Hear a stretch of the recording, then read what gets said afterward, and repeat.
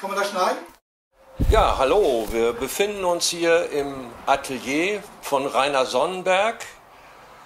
Rainer Sonnenberg ist Maler und hallo Rainer, magst du dich mal vorstellen? Hallo Thomas, hallo Peter, ist der Kameramann. Also mein Name ist Rainer Sonnenberg und äh, habe mein Atelier hier in äh, Benteler. Geboren bin ich am 29.07. in Nordenham an der Weser. Mein Vater war früher vor dem Krieg äh, Bühnenmaler am Oldenburger Theater, aber nach dem Krieg konnte es leider nicht weitergehen. Deswegen habe ich wohl höchstwahrscheinlich so ein bisschen das Kreative von meinem Vater geerbt. Seit dem 63. Lebensjahr äh, bin ich in Rente gegangen und seitdem male ich. Gibt es Vorbilder, die du hast? Ja, natürlich gibt es Vorbilder. Ich habe zum Beispiel ähm, viele Ausstellungen besucht in, in New York, in London, Paris. Das war natürlich beruflich bedingt. Und dann bin ich auch in die äh, Museen gegangen, Guggenheim und Modern Art in New York und habe dann vor den Bildern gestanden und gesagt, wie hat der Himmelhund das gemalt?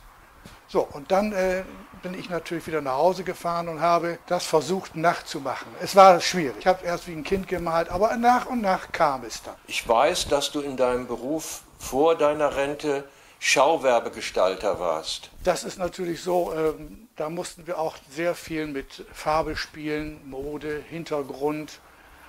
Und das kommt mir jetzt natürlich zugute, dass ich äh, da natürlich vieles mit in die Malerei nehmen konnte. Naja, äh, mit der Malerei, wie gesagt, ich war ja auch zehn Jahre bei der Firma Eickhoff in Lippstadt und musste da auch sehr, sehr kreativ in Düsseldorf, Bielefeld und Lippstadt sein. Das war sehr schön, dass ich da so viel mitgenommen habe. Hast du spezielle Motive, die du bevorzugst?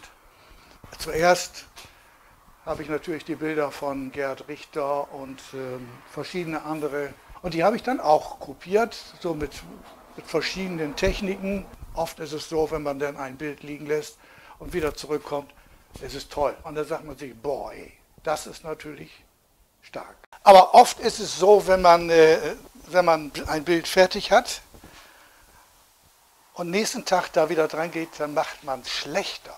Nicht? Und dann frage ich meine Frau, ist meine beste Kritikerin, sagt sie, das musst du entweder noch ein bisschen akzentuieren oder mal es über.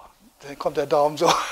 Deswegen, sie hat recht. Die Motive, die du auswählst, sind das äh, aktuelle Themen? Womit beschäftigst du dich am meisten? Im Moment ist es zeitnahes Geschehen mein Ding. Zum Beispiel äh, die Corona-Krise, die äh, ich jetzt auch auf die Leinwand gebracht habe. Ich zeige sie mal. Also Corona, das hat mich so beschäftigt, zeitnahes Geschehen. Ein unbekannter Virus verändert die Welt. Praktisch die Strahlen gehen überall nach, alle, nach allen Kontinenten. Und das beschäftigt mich eben, dass man auf der gesamten Welt eben diese Situation vorfindet. Das andere Bild hat den gleichen Titel. Es ist Corona ist plastisch und geht um die Welt und beschäftigt uns. Wie lange bist du mit solch einem Objekt, mit solch einem Bild? Das ist ja eine Kombination aus ja, Objekt und Malerei. Eine Woche ist das schon. Das sind ja richtig Nägel und die habe ich dann eben draufgesetzt, damit das auch so aussieht, wie er auch im Fernsehen gezeigt wird. Hast du auch in der Vergangenheit ähnlich aktuelle Themen äh, in deinen Bildern ja, erscheinen lassen, sage ich mal. Ja, ich, Naturkatastrophen in Kalifornien. Hinterher sind alle Feuerwehrleute in Kalifornien extra ausgezeichnet worden. Diese Bilder befinden sich aber nicht mehr in deinem Nein, die habe ich alle gespendet. Und dies ist das letzte, das ist 2001, New York. Und das zweite ist eben Untergang der Deepwater, der, der Bohrinsel in, äh, im Golf von Mexiko da habe ich dann drunter geschrieben, wie geht die Menschheit mit unserer Erde um. Diese Bilder standen lange bei mir rum und keiner interessierte sich dafür. Dann habe ich sie der Feuerwehr in Lippstadt vermacht. Wie man hier sehen kann, aktuell wieder mit einem Werk beschäftigt. Ja, Ähm, magst du uns ein kleines Stück darüber erzählen?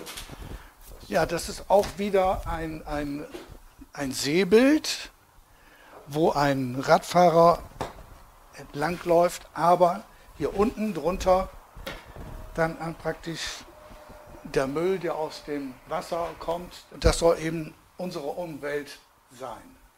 Würdest du dich als, sag ich mal, als einer der Weltaufrüttler bezeichnen, die die Welt erinnern soll, was sie für Unsinn anstellt? Ja, vielleicht? natürlich. Das, das sind ja auch die Bilder, die ich vorher gezeigt habe. Zeitnahes Geschehen auf der Welt. Und das berührt mich schon.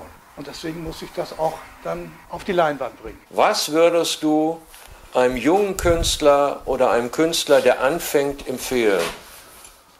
Leben und leben lassen, das würde ich jedem Künstler äh, vorschlagen. Und er muss an sich arbeiten. Mächtig, mächtig an sich arbeiten, damit er seinen Stil findet.